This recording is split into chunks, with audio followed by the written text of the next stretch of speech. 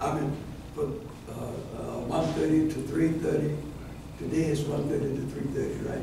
Yes, sir. Next Sunday it'll be what, Two, two, two, three, and I have some two to three? Two to three? Assistant Secretary will, uh, give you that information. Uh, But at this time, we're gonna close. And, uh, I turned the meeting back over to my assistant minister, Mr. Yusuf Muhammad. As I greet you with the peace of paradise. Salaam alaikum.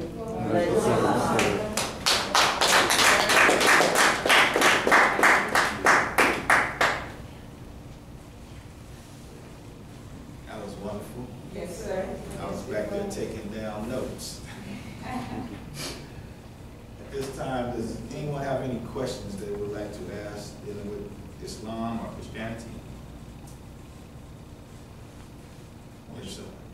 Assalamu alaikum. Brothers, I have a question. Uh, It's uh, regarding the situation that's going on out there in Waco. And it's like, okay, now when the blacks get out there and protest and march peaceful, have peaceful demonstrations, the police and the devils want to attack them.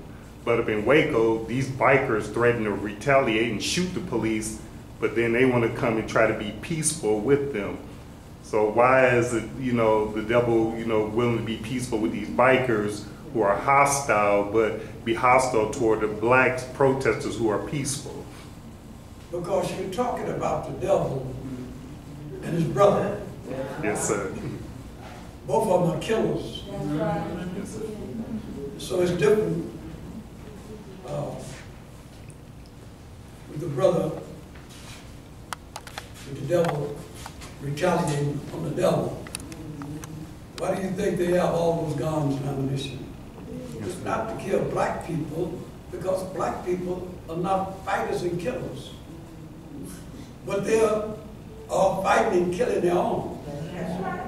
You see. Allah has said that in this day and time, that the minds of the devil will be so corrupt that they will self-destruct.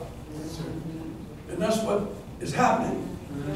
They're born killers and they they can't kill somebody else or find somebody else to kill, they kill their own. That's Yes, right. sir. And that's what you find happening, brother. Yes, sir.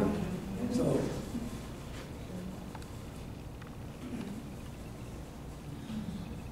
Anyone else?